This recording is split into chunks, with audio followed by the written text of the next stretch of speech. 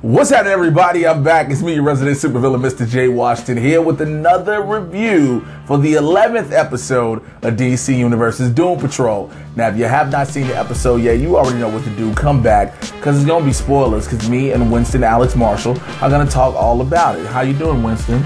Man, it's funny because this, you know, anybody who's watching this knows that this week is Game of Thrones Battle Week. This is Endgame Week. So, like, whew, I'm like buzzing. Like, my brain is on fire. Matter of fact, stay tuned for the Avengers Endgame uh, spoil, full spoiler review is going to drop on the channel as well. Uh, this episode took a weird, really different twist than what it normally does. Uh, Jane is actually more so with the group. You know, she's actually Jane, like, and trying to control being Jane. Well, I, I think part of the reason for that too is based off of these last few episodes. While most everybody else was kind of spiraling out a little bit, Jane got a sense of calm and peace. Like she's still gonna have some stuff. Like we got a little teaser at the end of Jane Patrol. She's still gonna be dealing with some stuff, but for the most part, she's got a grip on herself now. Which is a good thing to hear. trust me. Uh, so this episode, speaking of Jane Patrol and going back to the one before, this takes us back to the scene where Jane, after Jane was getting married as Karen, she's passed out in the basement of the Doom of Doom Manor. And so this time we start off with seeing Larry on a date with John. You know, and they're all at the Big Sur motel motel lounge and everything. and They getting their freak on, and then they, they Pumps in the bump. Pumps in the bump. Mm, mm. Pumps in the bump. Uh-uh. Uh-uh. Which we were actually having a really interesting conversation about this for anybody that watches network television or anything like that. Just the fact that you don't, you can't show you could like any hetero like sexual interaction. you can show all of it. You can show kind of all of it, but anything on network, any any gay or lesbian interactions, you actually will not see more beyond a little kissing and maybe a little stripping. They won't. Not saying that we out here trying to see like you know dicks and shit, but you know what I'm saying. Like they don't, they don't show the actual like. I you just look, look, fuck it, listen. I'm gonna do patrol. Give me all the dicks. I won't see all. I want all I want all the I dicks. want all the dicks in the DC universe. You know what I'm saying? I want nothing but dicks. I'm just. I'm literally I just want saying. heroes uh, and dicks. I'm literally just saying the fact that it was it was like kind of a like a kiss kiss, and then all of a sudden it was like them eating the sandwich. Oh, you like I was saying? like, Look, I want y'all to eat a sandwich while eating dicks. you know what it is? I want to see dicks and Hennessy. I think the closest of dicks and Hennessy, I feel like the closest they showed was like the innuendo they got to. The motherfucker pulled out like a, a hero sub afterwards, and he like just like whatever. He's like, "Watch out now." He even said he's like, "Be careful with that. I don't want you to choke." I want you to And. I was like, "Y'all just out here just Well, she would- innuendoing." She would speak from old boy old Winston over here. Winston to see, he want to see, he want to see dicks and crocs. Just want to see you. You just gonna take my shit out of context? I'm just talking about like just okay. Oh, All I right. don't see no dicks and crocs. Yeah. Just dick out of scrub. Okay. Yes. All right. Are you done? Are you done? Dicks and fedoras. Are you done? Dick- Speaking of yo, Dicks and fedoras is something you want to No, you said Dora. Because because I don't know if y'all have seen the grown ass Dora the Explorer shit on YouTube. Come find me on Twitter later. I'll put links to that shit. That shit is hilarious. We've been talking about and, uh, and fedoras. You know what I'm saying? You want oh, fedoras. So you were saying Dora, I just didn't hear the part. Dicks and vibes. Dicks and visors? What is this? Uh, a, a 90s, like nine inch nails, like. no, nine inch dicks. I don't know why this conversation got all about dicks. This is wrong. It's fucking wrong. Because Larry likes dicks. Right, that was the conversation. Larry loves some dick. Okay, loves some dick from a boy named John. John giving the dick too. Now we try to figure out who's on top. Now I'm What right. is this voice? I don't know. Let, let it happen. Just let it happen. Just I let this guess. shit roll. So we're gonna go to where I'm next. So then the negative spirit wake him up, right? You wake Larry up. It sounds like the voice to talk to a nigga named Larry. It sounds like Bernie Mac if he was playing a character named Larry. so listen, uh, so, the negative spirit wake Larry up. Larry, Motherfucker. listen, shut the fuck up and tell you what to do. Shut the fuck up. What the fuck you sound like you gonna ask me? So, Larry. so, Nigga, Larry. so listen. So the negative spirit wake up Larry, and Larry, Nigga spirit was over there. He said, Larry, where you at, nigga? You ain't, you ain't, we got shit to do. so so the spirit, So the spirit is back in Larry's chest. And Larry like, dude, put me in the dream again, please. Please, we was naked eating hoagies. Are you gonna put fucking subtitles on this? 'Cause I understand you because I'm sitting right here. I don't know if anybody else gonna understand you. What kind of shame goddamn mic you get? They don't understand a lot of shit. Well, like, somebody gonna look at this video and say, my uncle sound like that. That's my uncle. That's what my uncle. That nigga. So listen, I'm gonna talk about the dicks. Uh, so I'm gonna keep going back to dicks. I just want to put a, uh, uh, a disclaimer. Uh, them at the Doom Patrol review ain't all about dicks. It's just the episode started off with dicks. So What is wrong with you? Are you doing character work right now? Like, what is if, if happening? the shit working and somebody say, "Hey, I like that voice," can you call my voicemail? Shit. I, I, yo, I dare you. I dare you. The next audition, you get to talk like that. Because they don't, because they don't know how you speak. So the next audition, so the next audition, where it's like you're working at a Starbucks. Hi, how can I help you? You're like, hey, how can I help you?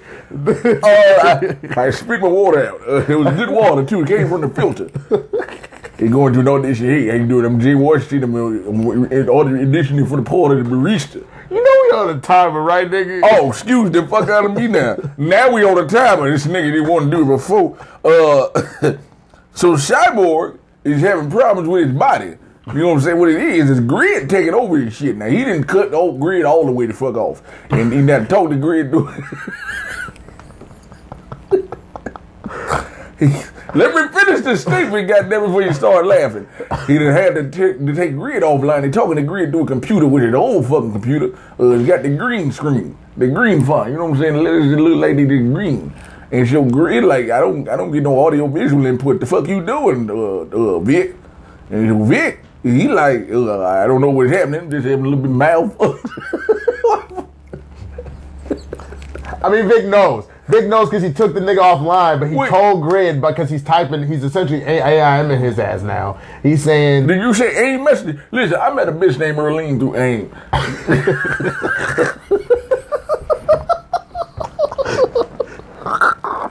"I'm friend of that bitch on MySpace." her, her, email was uh, earlyearling at hotmail.com. Now, Dot com. dot com. So, uh, dot good. The dog dot com. Dot com. Dot com. So she fucking so dot com. No, dot com. So nigga. what's dot com? So you met her on like a like a like a cam girl site. Yeah, it was, it was cam, uh, cam girls' names Esther, Earlene, and Josephine. The- Were they the three golden girls? It was thank you for being a friend. Boom boom boom You boom. traveled down them roads and back again. Doom doom doom The doom. hose is true. Wait a minute. You the pants and then ah, ooh, ah. So, so Cyborg's still talking to Grid and shit. And so Grid, I'm, I'm gonna do the whole fucking episode like this because I feel like I'm stuck talking like this. I can't go back, but try. Uh, that's fine. Then I'm gonna lean into uh, what I do best. You rather do that shit. So listen, so Grid like fucking up the Vic, and Vic like, uh, we would do a diagnostic scan on a nigga. And so Grid like, uh, you know, you was at like 47% cyborg. But uh, now you're at 69. So, so nigga, you Ha. get, you're getting more metal. You know what I'm saying? The cyborg like, I'm black. I, I, I can't be more metal. I'm black. I gotta keep my blackness. Well, okay, come on. Black people be putting hella metal. Metal in their mouth, metal in their chain, metal on their rims. Like niggas all about metal. Platinum records of metal. I feel like I feel like you just did a lot of stereotyping and racial profile. Niggas get gold medals. They win trophies. Trophies. Trophies. Oh, you you singing that nigga Drake, the one with the line. So, so listen, so so Jane, she get a little balls. She calls a fucking team meeting. Only Rita and Cliff with his big ass show up, and so she is mad and shit. She like fuck everybody else, and Cliff like look, uh, he watching the news. He found out that the uh, the bump dude, the nigga that was banging his wife, uh, was doing the pumps in the bump. Pumps in the bump to his wife. To his wife. Did a stroke. Uh. so so yeah, he was doing that, and then um and uh, he had died, and they found out he had died because an alligator ate him. Say that eight times. Because alligator ate him. Because alligator ate him. Because alligator ate him. No, Because no, alligator take, ate him. take, the alli- cuz, take the cuz out. Just say alligator ate him. Alligator ate him. Alligator ate him. Alligator ate him. Alligator ate him. You sound like somebody's name, like alligator him, like somebody's uh, Hindu name or some shit. Anyway, so so like so Cliff get the idea like fuck it, let me go see my daughter cause she in Florida. You know what I'm saying? that just happened. I swear to God, it just happened. He get, let me go see my daughter because she in Florida. And so he like, yo, he looking at Jane like, oh, oh, you got one of them personalities that are shit a nigga on a shimmy. So he like, Flit, come on out, Flit. Jane like, don't you call this bitch Flit. She like, Flit, come take it out, the Flit. Flit. Stop. Why you sound like why you sound like old ass fucking Martin Lawrence in life right now? So listen, so Flit come out and then Flit like, let's go on a trip. That's what Grab- you sound like. You sound like Papa Klump. Wait, No, no, uh, uh, Sherman, Sherman, Sherman. Sure. Sherman do say, yeah, listen, let me finish this goddamn story. so then Flit teleported into a bar out in uh, Florida. It's hot as shit out there, you see it. And so Flit like, all right, y'all join. I wish fuck I gave myself a lisp. I don't know how to give myself the whistle one though.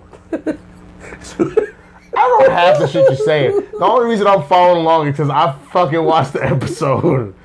And obviously the audience has too, so this is hilarious.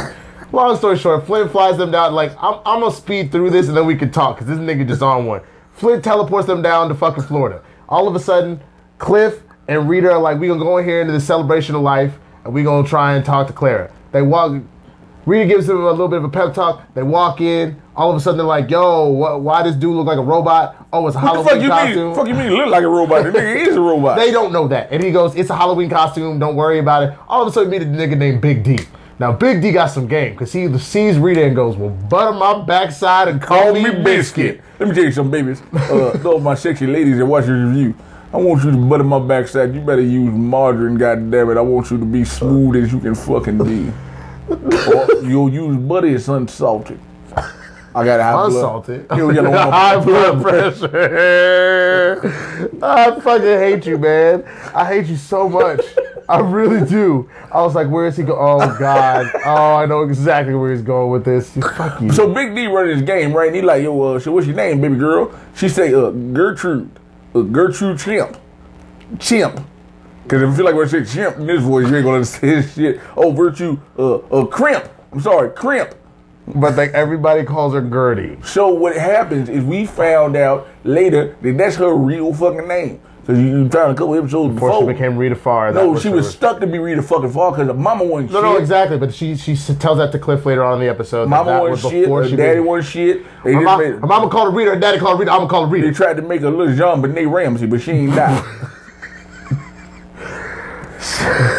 So, long story short, Cliff doesn't have the balls to talk to Clara, but Clara gives a whole speech about how essentially Bump took care of her her entire life. Told her she was adopted, all that good shit, and basically Bump got a, she got a watch that she got from her daddy because her daddy dead. That's what she think, and her mama dead. That's what she is, and so Look. she, Mama Hilla did. She did, and she got it engraved to say, "To my dad, you're my hero." and that was to Bump.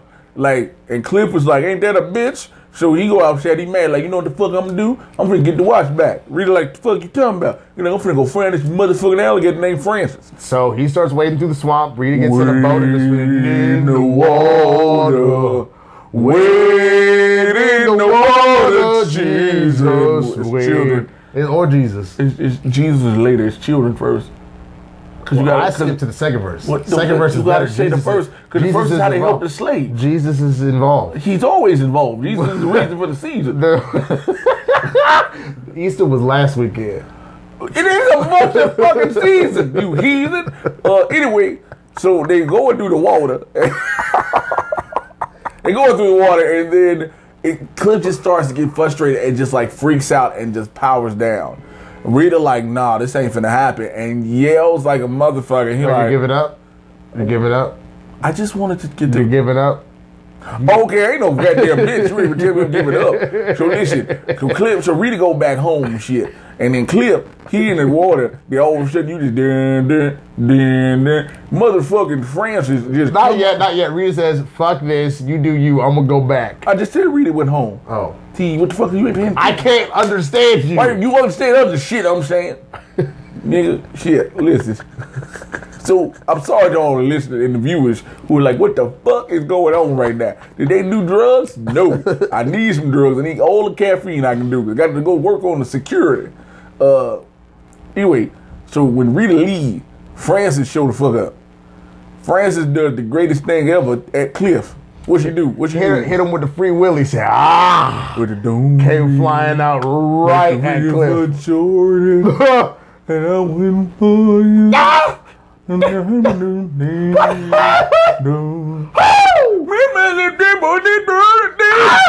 What the fuck? Why you sound like you are in pain and orgasm at the same time? So, Is that, wasn't that Michael? Wasn't he always orgasming in pain?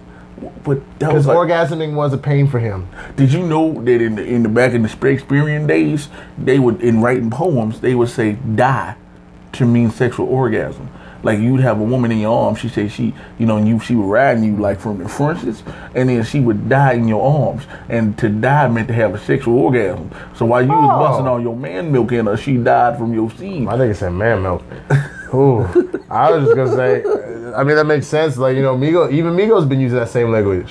Hit her with a left, hit her with a right. I'm gonna knock the pussy out like fight night. Listen, something. also you fellas, look, for those of you watching, you shouldn't be knocking out pussy.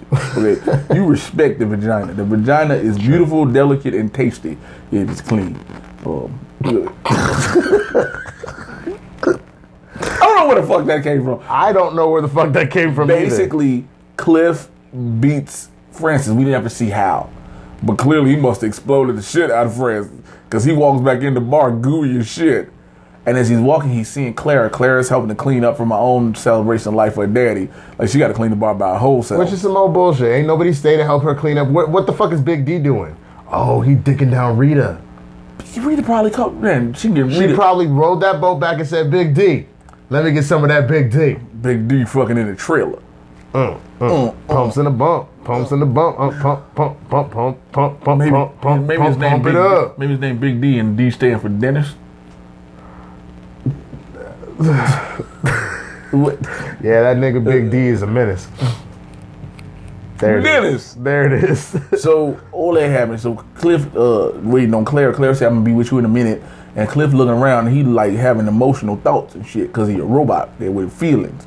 And so you sound like a nigga that has metamorphosis powers and he's about to lose shape or form of whatever fucking character he is. Because you can't decide if you're Jay or your weird ass Uncle Clyde. I keep trying to go back into these voices. But you can't really do it. No, I can do it if it like a fuck I feel. Let me You're show you. having like an imp- like you're having like an improvisational stroke right now. You're not having a stroke. I'm a stroke. It's one of the uh uh. I don't know what I'm a stroke. I just did it because it was gonna be real awkward because it's just me and Winston. And like I don't want him to see me stroking shit in here. All right. Well, while this is so long story short, Cliff is gonna talk to Clara. All of a sudden, he decides, you know what, I can't do it. So he leaves the watch when Clara comes back, and she has this moment of like, oh fuck, like the dude went and got the watch, like, and you can't tell exactly what she's thinking, but she's clearly having some thoughts about I got the watch back from my dad, but this man was kind of awkward The looking only at me. the only person, and when he grabbed her hand earlier when she was trying to get up on the pedestal, it was a moment there for him because he he can't feel directly, but he feels if that makes sense. So then we fast forward to back to Larry's story where he's trying to figure the negative spirit has been showing him different things, and even took him to an old gay bar they were at. And at one point, John in the vision says, "I don't want to spend my last days with you," and so Larry's like, "Wait, what do you mean?" And so like this, not with you. He said, "I don't want to spend him like this because Yeah. Larry has still not truly accepted who he is. So he he just wants to go fuck in the motel. He and whereas John like wants to he wants something solid, something real. he wants a real relationship, and that's part of what the negative spirit is trying to show him. Is they're not trying to just show him like these little moments or whatever. He wants him to accept himself and accept this relationship. And so then John is like, he, I mean, excuse me, Larry wakes back up after the next spirit wakes him up and he's like, yo, what is going on? And then he sees post it notes everywhere.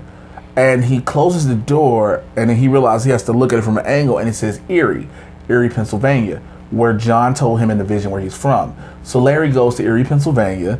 It just so happens six hours from my house. I think Columbus is six hours from Erie, Pennsylvania where the town that they're in is six hours from Erie, Pennsylvania. So, but Larry takes a cab there. First of all, where the fuck Larry get money from?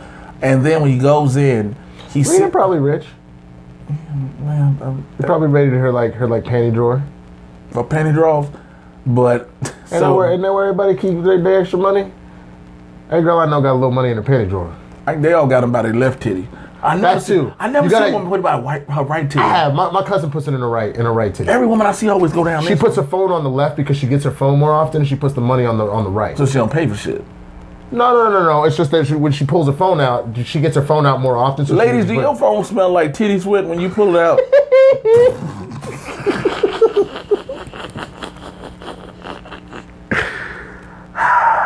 we are off the rails. So Larry goes to see John in, in Erie, and John is an old man. Like he's literally old, and he basically is dying.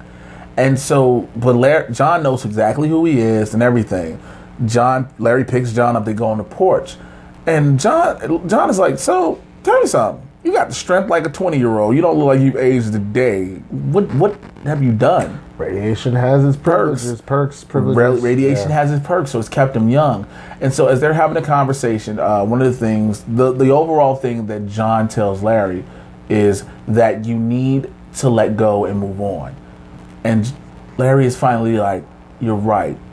And as that moment, as they're having that discussion, John dies on the porch, and he leaves him on the porch. And I was like, "Fuck, that is sad." So basically, with this whole episode, it's about uh, establishing who you are and moving forward. Which is actually like most episodes of the show, one way or the other. Uh, I mean, that that's what Jane Patrol was about. That's what essentially Paw Patrol, uh, Doom Patrol Patrol. It's all about this show is about accepting who you are, freaks or otherwise, that you are a whole being and you need to accept it. And they really go into that. And then uh, you know, Cyborg himself goes out with Jane, which we kind of left this out, Oh, yeah, to go for- look for something. And it turns out the Bureau of Normacy actually finds them and was setting them up the whole time. was setting them up the whole time. So they're, they're like, this, this got us a little freaked out because it was this black dude chasing this white woman. We're like, come on, man, don't. I was like, nigga- don't do this. Don't make the nigga hit the white woman. don't, like, don't, please, please no, don't do this. no, don't do this on DC So, Universe. so, so Jane goes to chase them.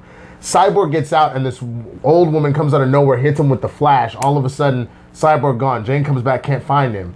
Uh, the, the the black dude tries to punch Jane, and Jane goes, "I motherfucker!" And Goes turns into Hammerhead. And when they co- when their fists collide, this dude nigga's hand breaks. He jumps in the van, runs off, and Jane realizes, "Fuck, they kidnapped Cyborg." The last thing that we see is Cyborg chained to a chair, which made no sense to me because it was with handcuffs. This nigga is a fucking robot. He can break through handcuffs. You need them Well, like he's, heavy a clamps. he's a sensitive robot with a box fade, with a low cut fade. All right, if you had to rate this episode, man, what would you rate it? I would give it four and a half stars. I wouldn't give it a five. Uh, I felt like there were some things I, I was missing from it. It's, I think it's more action that I'm missing because I'm always used to a, a high level of action in this episode, in these episodes, and this one didn't have that. So that's the only knock knockoff I have for it. But other, other than that, I love the story. I love the whole thing about moving forward, accepting who you are, because we're trying to get them also to accept the fact that they are the Doom Patrol. Because there's so much pushback on it. What about you? I would actually give it a three, man. Like I, I feel like we've been clipping at such high levels of content with the show, and I'm not saying that I hated the episode. Like I said, it's right down the middle for me. But like before, with all these other episodes, I was so easy to be like, "Yo, it's a five. Like Duran, Di- uh, Diane Guerrero fucking killed it doing X, Y, Z. I give it a five because you're talking about all this existentialism and you were true to the books. This is probably also still true to the books, but I found myself detached from the episode a couple of times. There were some very nice moments that I enjoyed. I enjoyed the line about butter my backside and call me biscuit and shit like that because I'm from the south, so that I've heard I've heard old heads throw lines like that around. Um, but I'm gonna be real, it wasn't my favorite episode, man. Well, so with that, let us know what you thought of the episode. Let us know in those comments below. Like, subscribe, click on the notification bell so you find out when more of the videos are coming up. Also, share this video. Thank you to everybody who watches these videos, who leaves the positive comments about loving this and have gotten into the show and to the reviews in which him and I do is appreciated very much. But Winston, tell people how they can find you. You can find me on all the social medias at the Swaggy Blerd, T H E S W A G G Y B L E R D on all your socials. You already know Twitter, Instagram at Mr. Jay Washington. Let me spell it M R J A Y Washington. All right. Join the Supervillain Squad on Patreon, please. Five dollars a month. That's all it is. Patreon, Patreon.com slash Mr. Jay Washington. And check out the Mad Titan podcast. I get you caught up on everything happening in the Marvel and DC live action universes. I know it had been a minute since I've been back, but I got a new episode dropping for y'all soon. I'll holler at you later. Take care. I'm out of here. Peace. Did you like having a stroke at the end of that?